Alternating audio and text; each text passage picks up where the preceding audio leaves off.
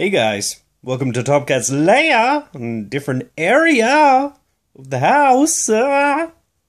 Anyway, I uh, just heard that Anna Paquin's not uh be well, she's in uh the new X Men movie, Days of Future Past, where they have both the old X Men and the new X Men.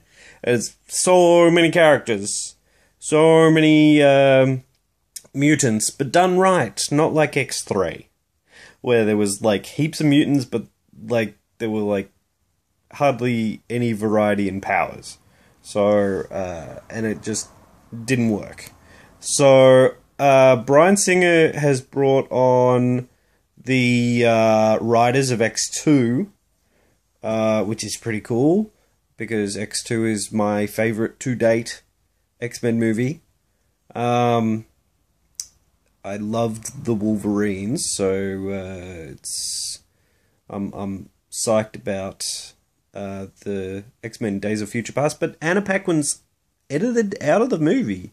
Um, I can only think that I mean it's Bryan Singer. He knows what he's doing.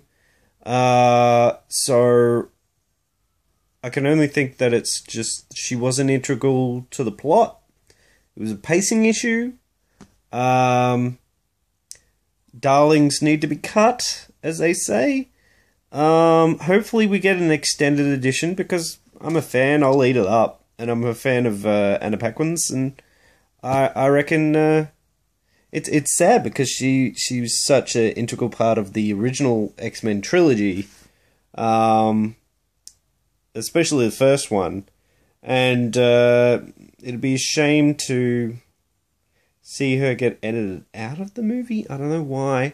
Uh, I haven't really heard why this is happening.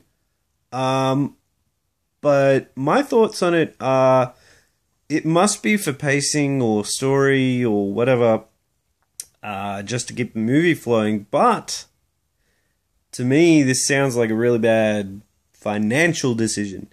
If I was a producer at Fox, I'd be like, oh, wow, that's like a whole heap of people that are true blood fans that have never seen an X Men movie in their lives that are not going to see this movie because she's not in it or she's her role is significantly cut down. Um, that's a shame. That's a shame. Thought I'd uh, thought I'd talk about that.